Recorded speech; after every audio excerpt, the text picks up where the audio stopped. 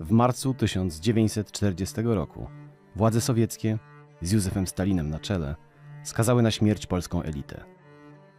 NKWD wykonało rozkaz i rozstrzelało blisko 22 tysiące polskich obywateli, co oznaczało śmierć blisko 1 trzeciej całej ówczesnej polskiej inteligencji. Kim były ofiary tej zbrodni? Czy ktoś ocalał? I w jaki sposób tragedię Polaków chcieli wykorzystać Niemcy? Porozmawiajmy o zbrodni katyńskiej. To jest podcast Muzeum Historii Polski.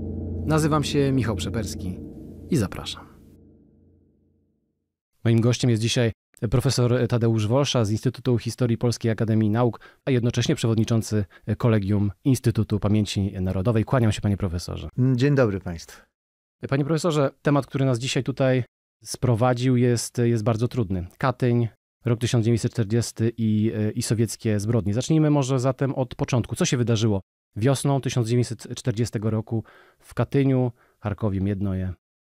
Wiosną 1940 roku, a dokładnie rzecz biorąc 5 marca, zapadła decyzja najwyższych władz Związku Sowieckiego ostatecznego rozwiązania problemu związanego z polskimi oficerami będącymi w sowieckiej niewoli. Na wniosek Ławrentia Berry, który sugerował najwyższy wymiar kary, takie też były decyzje czołowych polityków sowieckich z Józefem Stalinem na czele. Najwyższy wymiar kary to oczywiście kara śmierci i egzekucja nie tylko oficerów, ale również funkcjonariuszy wywiadu, kontrwywiadu, straży leśnej, również policjantów i cywili, którzy znaleźli się w trzech obozach, czyli w Ostaszkowie, Starobielsku i Kozielsku, ale również niektórzy w więzieniach, bo sprawa dotyczyła w pierwszym momencie około 25 tysięcy osób. Później została ta liczba osób o, zmniejszona do około 22 tysięcy i tyle też osób zostało zamordowanych, następnie pochowanych w bezimiennych grobach, czyli w Katyniu, Bykowni, Charkowie, Piati, Piatichatkach. To są te miejsca, co do których jesteśmy i w Miednoje, co do których jesteśmy w tej chwili już pewni. Natomiast pewnie dojdą jeszcze inne miejsca pochówku, dlatego że nie znamy dokładnie jeszcze listy białoruskiej. I być może ta propozycja, która pojawiła się jakiś czas temu, Kuropaty, jest propozycją trafioną, że tam również spoczywają ofiary zbrodni z 1940 roku. Z całej tej, z całego tej grupy, o której mówimy, czyli dwa, dwu, około 22 tysięcy osób, około 400 cudem przeżyło zostali, można powiedzieć, y, w pewnym sensie wyreklamowani. W wyniku interwencji niemieckiej Niemcy zwrócili się z prośbą do swojego sojusznika, do, Związka, do Związku Sowieckiego, to jest ten okres, kiedy jeszcze oba państwa współpracują, o y, y, wydanie kilku dziesięciu osób, które z pewnych powodów no, zostały wypuszczone. Byli to w, pewnym sensie ludzie, którzy y, zadeklarowali wcześniej służbę na przykład w czasie wojny, I wojny światowej w armii niemieckiej, czy też y, byli pochodzenia niemieckiego, a służyli w wojsku polskim i dla nich y, ten, ta prośba została spełniona. Były to osoby, które podjęły współpracę z Sowietami, polscy y, oficerowie, którzy skłaniali się ku współpracy z Armią Czerwoną i oni również zyskali dzięki temu, y, odzyskali tę, dzięki temu wolność no i y, przeżyli. Albo były to osoby, które z różnych powodów były potrzebne dla Związku Sowieckiego. Osoby, które prezentowały pewne dyscypliny naukowe, dysponowały pewną wiedzą, która mogła być przydatna na e, e, jakimś, w jakichś zbliżających się wydarzeniach. Rosjanie mieli świadomość tego, że prędzej czy później będzie wojna z, z trzecią Rzeszą Niemiecką Więc selekcjonowali z, z tych jeńców, którzy byli w obozach, osoby, które byłyby przydatne. Dzięki temu kilku z nich też przeżyło. Ja jestem trochę nieraz zdziwiony, kiedy patrzę na listę ofiar, Dlaczego na przykład nie zostali oszczędzeni pracownicy, oficerowie Biura Techniki Wojennej? To, to byli specjaliści no, światowej sławy, natomiast z tamtej grupy nikt nie ocalał. Y, można było pewnie wyselekcjonować wybitnych lekarzy, y, specjalistów różnych y, spraw medycznych, którzy też w większości zostali zamordowani. Więc też ten argument jakby nie jest taki mocny, bo tutaj też była w pewnym sensie jakaś wybiórczość, jeśli chodzi o tych, którzy przeżyli i tych, którym nie dano szans na przeżycie. Jedno to, co pan mówi, to jest, to jest zbrodnia. Skala tej zbrodni ponad 20 tysięcy polskich ofiar i niezwykły, bezprecedensowy koszmar z, z perspektywy polskiej historii.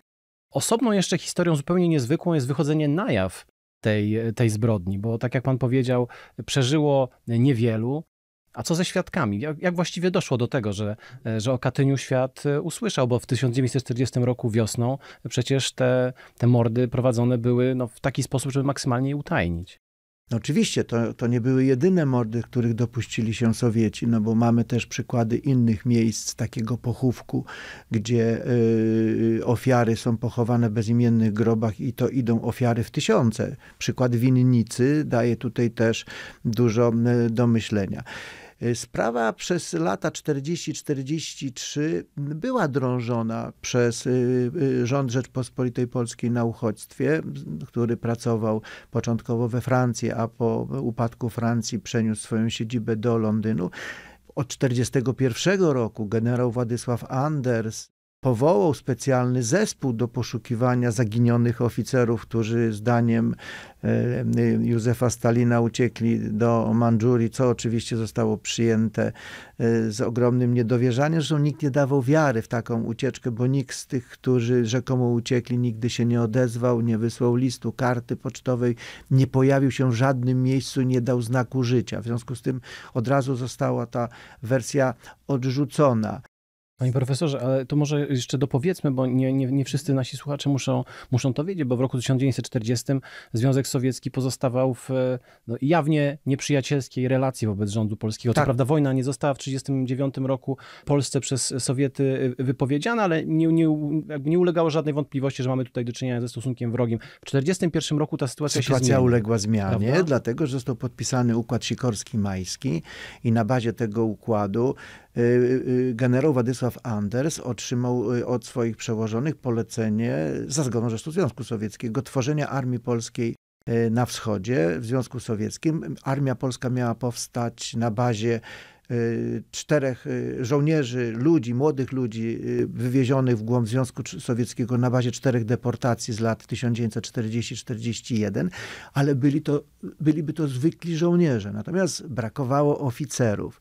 Stąd nagle rozpoczęły się poszukiwania od 1941 roku oficerów polskich bo doskonale było wiadomo, że ci oficerowie, nawet były znane obozy, w których oni byli przetrzymywani, czyli Ostaszków, Starobielsk i Kozielsk, one już były znane wcześniej. To nie było jakąś wielką tajemnicą, że nagle, kiedy poszukiwano polskich oficerów, to pytano o losy tych, którzy tam byli.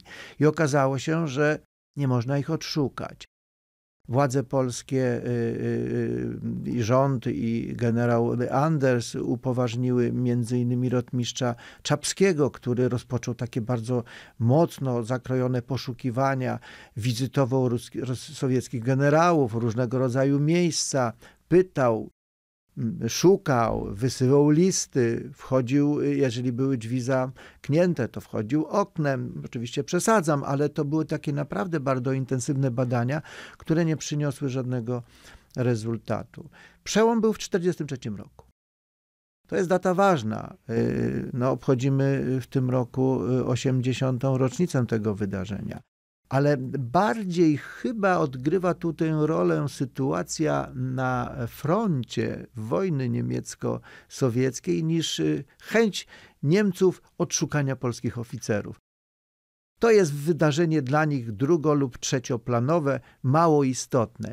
Natomiast y, nagłośnienie zbrodni katyńskiej poprzez odkrycie y, grobów w Katyniu zostało przez Niemców wykorzystane do ich celów politycznych. Mówimy tutaj o 1943 roku.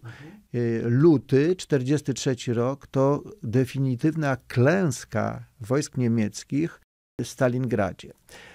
Mało tego, to nie jest tylko klęska wojsk niemieckich, to jest klęska również ich sojuszników. Tam w Stalingradzie walczyły wojska rumuńskie, kilkaset tysięcy żołnierzy rumuńskich, kilkaset tysięcy Włochów, ponad 100 tysięcy y, y, Węgrów, kilkanaście tysięcy Chorwatów. To są ich sojusznicy, którzy nagle albo giną, albo dostają się do niewoli. Mało tego, sojusznicy III Rzeszy Niemieckiej, Francuzi i Hiszpanie, praktycznie rzecz biorąc, już też nie są w stanie udzielać Niemcom dalszej pomocy na froncie wschodnim. To powoduje, że Niemcy próbują znaleźć jakiś, no powiedzmy sobie, wyjście z tej sytuacji, która może spowodować zachwianie równowagi wśród aliantów. Tym bardziej, że Armia Czerwona zaczyna się posuwać do przodu, zdobywa Charków, zdobywa Kursk. No wtedy front się zatrzymuje. To jest luty, marzec 43. Więc jest taki moment przełomowy na froncie. I Katyń dla Niemców jest w pewnym sensie jakimś zbawieniem. To jest szansa na to, żeby doprowadzić do poróżnienia wśród aliantów. Pomiędzy, no tak jak sobie to Niemcy wyobrażali, pomiędzy Anglosasami i Sowietami. Katyń miał zburzyć jedność. O ile być może mm, ta współpraca nie ległaby w gruzach, to przynajmniej mogłaby na jakiś czas spowodować zamieszanie w, w tamtych szeregach, a to dałoby możliwość no, wzmocnienia swojego wojska na froncie wschodnim, a być może nawet w pewnym sensie no, jakiegoś takiego wydarzenia, które by Niemcom dodało dodatkowych argumentów. Zresztą Niemcy nie tylko myśleli o tym, żeby poróżnić anglosasów Sowietami, ale poprzez zbrodnię katyjską chcieli na przykład zainteresować polskie państwo podziemne, armię krajową i rząd na uchodźstwie do podjęcia współpracy przeciwko barbarzyńcom idącym ze wschodu. I takie rozmowy z polskim państwem były podjęte. One zostały od razu odrzucone przez władze Polski podziemnej i władze emigracyjne. Niemniej jednak Niemcy poważnie myśleli o takim rozwiązaniu problemu. W tym celu, za zgodą Adolfa Hitlera, przy dużym zaangażowaniu Goebbelsa, można powiedzieć, w Katyniu stworzono coś takiego jak takie Centrum Informacji o Zbrodniach popełnionych przez Armię Czerwoną NKWD, a najogólniej rzecz ujmując, w prasie Gadzinowej pojawiła się informacja, że są to zbrodnie barbarzyńców. Jeden barbarzyńca nazywał barbarzyńcą drugiego barbarzyńcę. To jest chyba taka najładniejsza konkluzja, którą możemy tutaj powiedzieć, jaki cel przyświecał Niemcom. Cel bynajmniej nie z miłości do Polaków, chęci jakby pochowania tych żołnierzy w imiennych grobach, podania do wiadomości publicznej skali zjawiska, poinformowania rodzin, które od 40 roku czytały, czekały na choćby jeden sygnał, jeden list, jedną informację, co dzieje się z tatą, z dziadkiem, wujkiem, bratem, siostrą również. Ofiary to nie tylko mężczyźni, to były również kobiety ale też i dzieci, które były zabierane z domów y, ze swoimi ojcami, którzy byli oficerami Wojska Polskiego i później te dzieci te dzieci siedziały, te nieletnie dzieci siedziały w tych obozach. Później część z nich została oczywiście wypuszczona do różnych domów dziecka. Niemniej jednak sprawa miała bardzo poważny wymiar. Panie profesorze, w kwietniu 1943 roku Radio Berlin nadaje komunikat o odnalezieniu masowych grobów polskich oficerów e, nieopodal e, Katynia. To był 13 kwietnia 1943 roku. I to rzeczywiście przez jakiś czas e, jest bardzo poważna sprawa w obozie alianckim. Jest to bezpośredni pretekst, podkreślmy pretekst do zerwania przez Stalina e, stosunków dyplomatycznych z rządem Rzeczpospolitej rezydującym e, w Londynie. E, bezpośredni pretekst dlatego, że rząd polski zwrócił się do Międzynarodowego Czerwonego Krzyża o to, żeby tę sprawę zbadać. A to Stalin zinterpretował w obłudny, sobie właściwy sposób, jako współpracę pomiędzy rządem polskim a, a, a rządem niemieckim. Ale niezwykle interesujące jest to, co dzieje się później, również w wymiarze tego, co Y, na co Niemcy y, pozwalają i y, co też Polacy, wolni Polacy, też współpracujący z polskim państwem podziemnym chcą zrobić. Chcą mianowicie wykorzystać okazję, jaką jest Katyń i to, że Niemcy zapraszają tam Polaków, nie tylko zresztą Polaków, również jeńców zachodnich, na świadków tego, co odkryli, aby ci zaświadczyli, zaświadczyli o, o zbrodni. Powiedzmy może więcej o tym, Cóż to byli za Polacy, którym dane było zobaczyć te doły katyńskie w 1943 roku? No i cóż z nimi było dalej, bo temu poświęcił Pan dużą część swoich badań. Można powiedzieć tak, że w 1943 roku, pomiędzy czerwce, y, kwietniem i czerwcem, Europa się skatynizowała. To jest określenie z pamiętnika Bobkowskiego, który mieszkał w tym czasie w Paryżu. Mówił po powrocie dziennikarzy francuskich po napływających informacjach e, z Katynia przekazywanych przez Niemców, po prostu to był temat numer jeden. Każda gazeta na pierwszej stronie zaczynała się od informacji, co znaleziono w Katyniu, ile osób zostało zidentyfikowanych, bardzo szczegółowa dokumentacja ikonograficzna, wywiady prasowe, relacje świadków, którzy wracają z Katynia. Specjaliści, którzy badają tę sprawę w takim ujęciu międzynarodowym, obliczyli, że w Katyniu złożyło wizytę około 31 tysięcy osób. Wojna, gdzie Paryż, gdzie Madryt, gdzie Lizbona, gdzie Rzym, Curych, Amsterdam, Bruksela i inne miasta, a, a gdzie Smoleński Katyń. To jest szmat drogi. I Niemcy zorganizowali na masową skalę wycieczki przedstawicieli różnych zawodów, dziennikarzy, pisarzy, lekarzy, naukowców, zwykłych ludzi, którym chcieli pokazać, pokazać cmentarzysko. Oczywiście robili to świadomie. Nie dlatego, że mieli jakąś wielką miłość do ofiar, ale chcieli pokazać, jakim barbarzyńcą jest Armia Czerwona, NKWD i Stalin. Mówili o tym wręcz głośno, nie ukrywali tego. Oni chcieli po prostu pokazać oblicze tego, który idzie ze wschodu, jakie stanowi zagrożenie dla europejskiej cywilizacji. I to im się udało, dlatego że ci, którzy przyjeżdżali, pisali to, co widzieli, a widzieli wyjmowane szczątki polskich oficerów z przestrzeloną potylicą i co do tego nie było wątpliwości, że zbrodni dokonali Sowieci, dlatego że wszystkie komisje lekarskie, które tam pracowały, wyraźnie powiedziały, że zbrodnia została popełniona w 40 roku, a w 40 roku jeńcy byli w sowieckiej niewoli. Mówiłem o tych 31 tysiącach. No oczywiście 31 tysięcy to nie tylko delegaci, przedstawiciele z Europy Zachodniej. W zasadzie ich było ponad tysiąc. Natomiast te 30 tysięcy to żołnierzy Wehrmachtu, żołnierze Wehrmachtu, których Niemcy chcieli przestraszyć i z, czytelnym, z czytelną sugestią. Zobaczcie, jak się poddacie, będziecie słabo walczyli albo przegracie, to podzielicie los polskich oficerów. Zrobią to samo z wami. Stąd to była jakby też druga sprawa związana z cmentarzyskiem, z cmentarzyskiem e, katyńskim. Oczywiście Niemcom najbardziej zależało na tym, żeby przywieźć Polaków, bo bliscy zamordowanych to jest dużo większa siła w propagandzie. A propaganda była w Katyniu rozbudowana na masową skalę. Zorganizowano tam studio radiowe. Na drzewach były rozwieszone mikrofony, które zbierały wypowiedzi ludzi, którzy tam przyjechali. Była ekipa filmowa, która nagrywała e, delegacje. E, były specjalnie przygotowane materiały propagandowe, broszurki, ulotki. Praktycznie rzecz biorąc, każdy, który przyjeżdżał do Katynia i stamtąd wyjeżdżał, otrzymywał różnego rodzaju materiały, które ułatwiały mu później pracę taką, która była zaadresowana do tych mieszkańców, tych najbliższych mieszkańców w miasteczkach, w miastach, od których niedaleko mieszkał.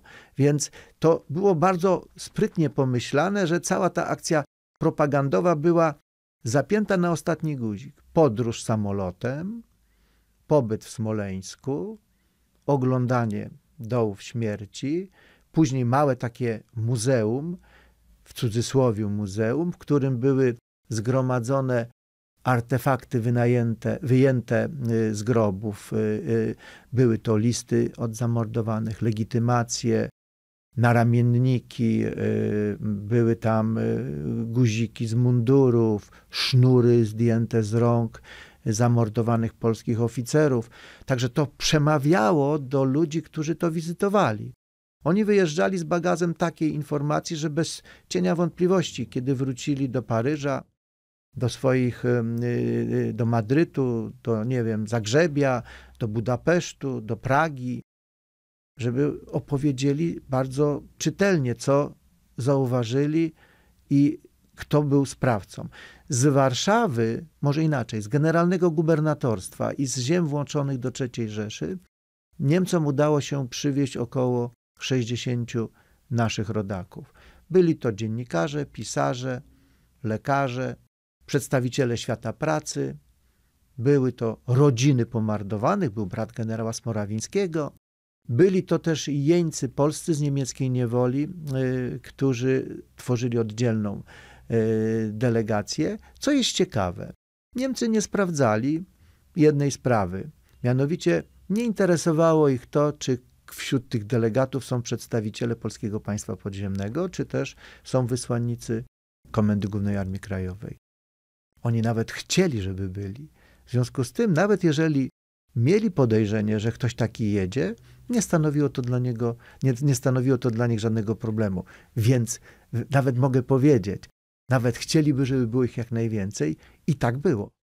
No właśnie, panie profesorze, bo y, tak jak mówimy o tym, że y, Niemcy chcieli pokazać, tak jak zresztą pan powiedział, również w, w obłudny i taki cyniczny, bardzo instrumentalny sposób, ale jednak jakąś prawdę, jakąś, no po prostu prawdę o Katyniu, pokazać e, to, co się tam, co się tam wydarzyło. Ale zastanawiam się, przecież Polacy mieli za sobą już z górą trzy lata niemieckiej e, okupacji. To była krwawa, okrutna, pełna terroru e, okupacja. Czy będziemy mówili o generalnym gubernatorstwie, czy o jakichkolwiek innych ziemiach dawnej e, II Rzeczpospolitej. No to mi wygląda na sytuację, w której wiarygodność niemieckiej propagandy, no mówiąc bardzo eufemistycznie, nie jest najwyższa.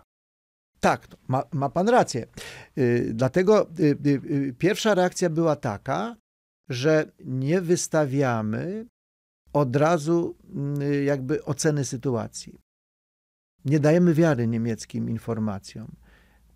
Dopiero wtedy, kiedy zostaną przeprowadzone tam badania, to możemy zająć konkretne stanowisko. I taka była opinia Komendy Głównej Armii Krajowej, która wysłała swojego przedstawiciela i który był i pracował tam przez dwa tygodnie i wrócił i złożył swoją oddzielną, ważną relację, potwierdzając niemiecką wersję wydarzeń. Taka też była, takie też było stanowisko rządu Rzeczypospolitej Polskiej, który wstrzymywał się przez dłuższy czas od zajęcia stanowiska w tej sprawie. Władze polskie chciały bardzo szybko wyjaśnić, stąd pomysł Komisji Międzynarodowego Czerwonego Krzyża, która przepadła, bo Związek Sowiecki nie wyraził zgody, i spokojne czekanie na rezultaty tych y, wizyt wszystkich. I kiedy zaczęły napływać do Londynu, wysyłane z Warszawy, sprawozdania tych, którzy wrócili, czyli sprawozdanie Ferdynanda Getla, Edmunda Seyfrida, Kazimierza Skarżyńskiego, później Mariana Wodzińskiego, czy też Józefa Mackiewicza, to wtedy nabrano pewności, kto odpowiada za zbrodnie. To trwało, to trwało, no bo to jest czas wojny. Ale co jest ciekawe, Pułkownik Mossor, który stał na czele delegacji polskich jeńców wojennych y, z niemieckiej niewoli i był cały czas po powrocie z Katynia za drutami. Jego raport z Katynia, z takiego miejsca, w którym był uwięziony, z obozu jenieckiego, dotarł w ciągu kilku miesięcy do Londynu i natrafi, trafił na biurko ministra obrony narodowej. Oczywiście, że Niemcy przymykali oczy na tego rodzaju sytuacje, bo w ich interesie leżało to, by te wszystkie dokumenty, te wszystkie wrażenia, opisy trafiły jak najszybciej do decydentów, do delegatury rządu na kraj, do rządu polskiego, bo co? Bo oni cały czas liczyli na to, że Polacy w obliczu nacierającej Armii Czerwonej staną u boku Wehrmachtu i będą walczyli przeciwko Sowietom. To był cały czas ten sam pomysł wykorzystania do ostatniej chwili zbrodni katyńskiej, by zachęcić i władze polskie, i Polskę podziemną, i polskie społeczeństwo do wspólnej walki przeciwko Armii Czerwonej i przeciwko Sowietom. Polacy mieli tego świadomość i nigdy na takie coś się nie zdecydowali. Panie profesorze, wspomniał pan, e, wymieniając osoby, które e, doby katyńskie na własne oczy e, widziały i były później zaangażowane w wieloletnią walkę o prawdę na temat Katynia. Wspomniał pan o Józefie Mackiewiczu. Jego przypadek jest, jest szczególny. W zeszłym roku obchodziliśmy rok Józefa Mackiewicza i wiele o Mackiewiczu mówiono i kiedy mówi się o Mackiewiczu, jego twórczości, jego życiu i pewnym świadectwie, które po sobie pozostawił, no o Katyniu nie można nie wspomnieć, bo tak. Katyń naznaczył jego, jego właściwie należy powiedzieć, że naznaczył go na całe życie. Tak, Katyn to w pewnym momencie stał się jego jakby taką myślą przewodnią. Józef Mackiewicz, można tu użyć takiego chyba określenia, on wyjechał do Katynia jako Józef Mackiewicz, który chce zobaczyć zbrodnie, ofiary, bo jest dla niego to sprawa ważna jako, jak dla każdego Polaka i wyjeżdża jako przedstawiciel Armii Krajowej, Wileńskiej Komórki Armii Krajowej. Był spór przez wiele lat na ten temat, czy on był tym delegatem AK, czy nie był. Teraz już nie mamy wątpliwości. Badania profesora Boleckiego, badania innych badaczy yy, i dokumenty, którymi, którymi dysponujemy, potwierdzają, że rzeczywiście był yy, delegatem Komendy Głównej Armii Krajowej. Zresztą złożył dwa raporty. Jeden z raportów zostawił w Warszawie, on niestety zginął. Y, natomiast zaginął, natomiast ten drugi raport złożył y, y, w Wilnie. Kiedy czytam sprawozdanie Józefa Mackiewicza z, z Katynia, kiedy słuchałem jego wypowiedzi przed komisją Raja Madena w 1952 roku, to tak sobie pomyślałem, że on wówczas kiedy był tam na miejscu, zadecydował, że musi opisać całą zbrodnię, wnikając we wszystkie szczegóły.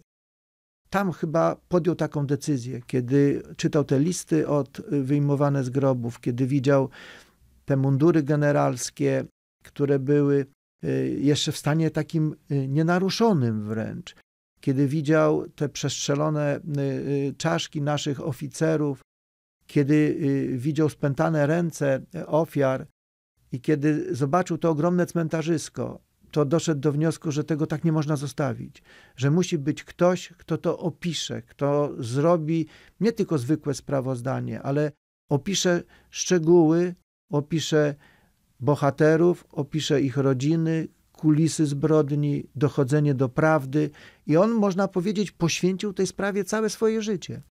Józef Mackiewicz był tym człowiekiem, który od 1943 roku konsekwentnie, można powiedzieć, do końca życia zajmował się sprawą zbrodni katyńskiej. Na początku miał pecha, dlatego że temat był ważny, zajmowało się tym y, drugi, zajmował się tym między innymi drugi korpus.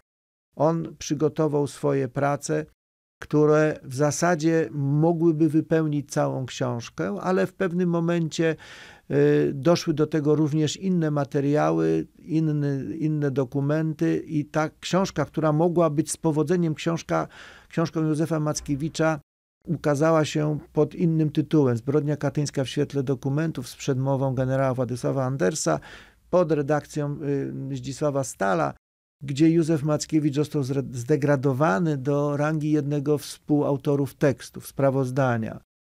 On miał gotową książkę. On tę książkę chciał wydać. Wysłał ją do Stanów Zjednoczonych. Przeczytał ją Wacław Jędrzejewicz. Mało tego, Jędrzejewicz przetłumaczył kilka rozdziałów tej książki na język angielski. Nie było niestety atmosfery w 45, 46, 47 roku na wydanie tej pracy. Świat jeszcze wtedy nie chciał, nie szukał zaczepki z Sowietami. Panie profesorze, bo myślę, że jeszcze jedną rzecz tutaj musimy jasno wyłożyć. Józef Mackiewicz e, kiedy zobaczył doły katyńskie w roku 1943, mógł wrócić do, do Wilna, ówcześnie okupowanego przez, e, przez, przez Niemcy, ale, ale w kolejnych latach musiał uciekać przed Sowietami. Musiał tak. żyć w cieniu tego nieustannego sowieckiego zagrożenia, bo Sowieci, jak niestety pokazały liczne tego przykłady, e, do końca życia prześladowali wszystkich tych, którzy, e, którzy w jakiś sposób mieli do czynienia z, z walką o, o prawdę o, o Katyniu i sam Mackiewicz, jak wydaje mi się, przez, przez lata też był, też był dobrze świadom tego, że, że mm, Związek Sowiecki, czy on się liberalizuje akurat chwilowo, czy, czy może zgoła przeciwnie, jest nieustannie, e, no tak jak to dużo, wiele lat później powiedział Ronald Reagan, imperium zła, które będzie wyciągało ręce po tych, którzy walczą tutaj o prawdę. Znaczy wyjechał wtedy, kiedy czuł się zagrożony, wyjechał, można powiedzieć wręcz w ostatniej chwili. Ferdynand Gettel robił to samo. To są ci, którzy byli w Katyniu. Jan Emil Skiwski również. To są ci, którzy, Marian Wodziński także. I wielu, wielu, Kazimierz Skarżyński również. To są ci, którzy wyjeżdżają z Polski w obawie o swój los, y, między innymi dlatego, że byli tam w Katyniu, że zajmowali w tej sprawie, zabierali w tej sprawie głos, że wskazywali na sowiecką odpowiedzialność. Józef Mackiewicz przez Czechosłowację, Wiedeń dotarł do drugiego korpusu. Tam został przyjęty. Został wręcz zaangażowany do zbierania dokumentacji na temat zbrodni katyńskiej i stąd też jakby może początek tego, tej jego takiej pracy. Tej książki, o której mówiłem wcześniej, nie wydał yy, na początku samodzielnie. Ten jego ważny tekst ukazał się w, w tej pracy zbiorowej, natomiast wydał tę książkę w Szwajcarii w języku niemieckim dla Niemców ta książka była potrzebna, no bo ta książka mówiła o prawdzie o zbrodni katyńskiej, a zbrodnia katyńska była zbrodnią sowiecką. Był to czas, kiedy rozpoczynały się, y, y, y, rozpoczął się proces w Norymberdze, gdzie Sowieci chcieli przerzucić odpowiedzialność na Niemców. Niemcy się z tego zarzutu, zarzutu wybronili dzięki dużej pomocy polskiej. Generał Anders powiedział jasno, nie możemy współpracować z Niemcami w jakikolwiek sposób. Możemy udzielić im nieoficjalnie pomocy i władze polskie przekazały bardzo ważne dokumenty dla niemieckich adwokatów, którzy wybronili swoich zbrodniarzy niemieckich od sprawy katyńskiej. Tak, no bo myślę, że tu też jasno trzeba powiedzieć, że nikt nie próbuje powiedzieć, że zbrodniarze niemieccy nie byli zbrodniarzami, bo tych zbrodni tak. własnych mieli niestety tak. aż nadto. Natomiast ta jedna zbrodnia e, sowiecka... Nie zmienia, ta zbrodnia katyńska z punktu widzenia Niemców nie, zmie, nie zmienia y, opinii o nich jako o zbrodniarzach. Znaczy, daje tylko ważny, ważny sygnał. Zresztą taki sygnał był też y, po Norymberdze. Jeżeli nie Niemcy, no to kto? Polacy sami siebie nie zamordowali, nie popełnili samobójstwa, a w Norymberdze sprawa zbrodni katyńskiej została zdjęta.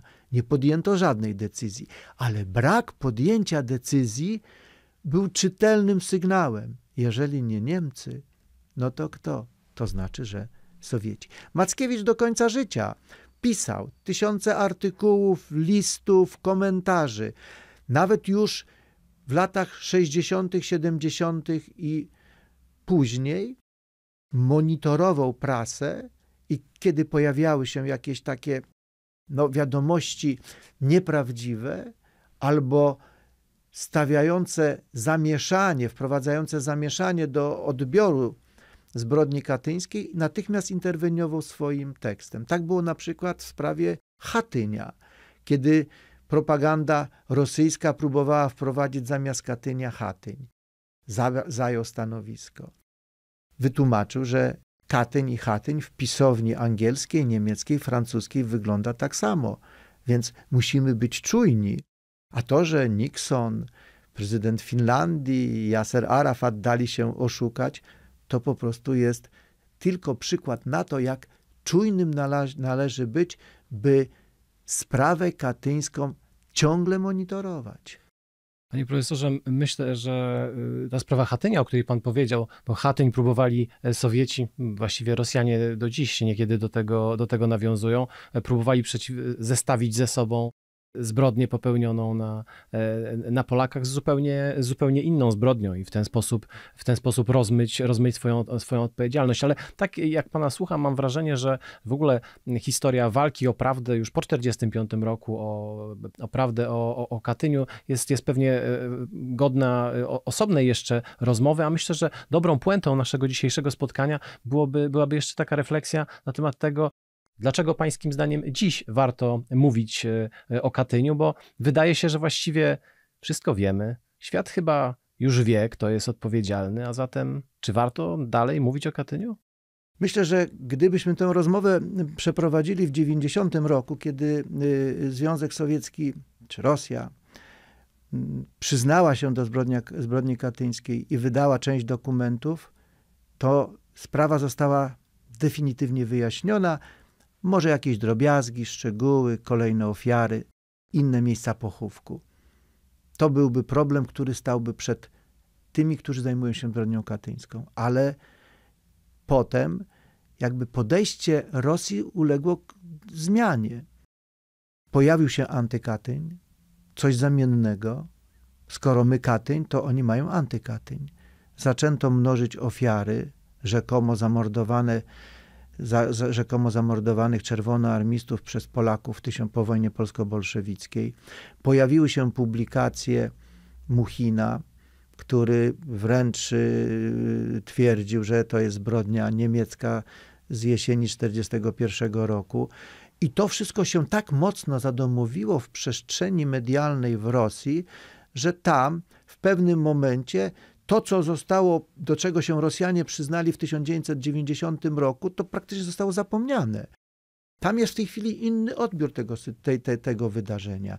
Gdyby zapytać przeciętnego mieszkańca Moskwy czy innego miasta dużego e, Federacji Rosyjskiej, to albo by powiedział, że nie ma pojęcia w ogóle o czym mówimy, co to w ogóle Katyn, nie wiadomo co, a jeżeli już by coś wiedział na ten temat, to by powiedział, że to jest pewnie zbrodnia niemiecka z II wojny światowej garstka. Garstka ludzi oczywiście ma świadomość, ale los memoriału pokazuje, że ci, którzy wśród Rosjan mówią prawdę o zbrodni katyńskiej, narażeni są na represję. Zamyka się lokale memoriału, ludzie są represjonowani, muszą uciekać ze Związku Sowieckiego, przepraszam, z Rosji muszą, muszą uciekać, albo po, zamyka, nie zabierają głosu, bo są, obawiają o, się o swoje życie.